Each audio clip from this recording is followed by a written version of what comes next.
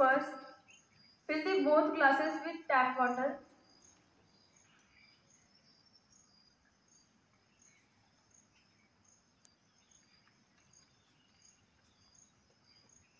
Now take lemon and put it in glass and see what happens next.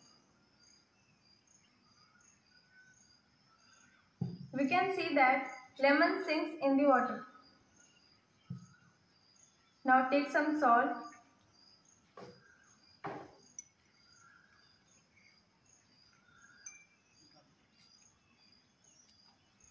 and add it to the water in one glass and stir it until salt dissolves in water.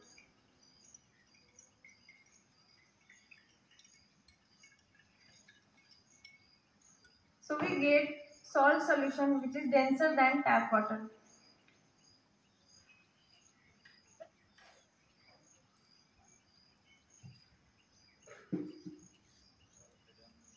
Now again put the lemon in both glasses and see what happens next.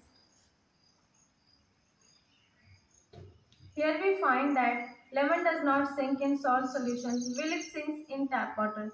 This happens because density of lemon is less than density of salt solution hence it floats in it.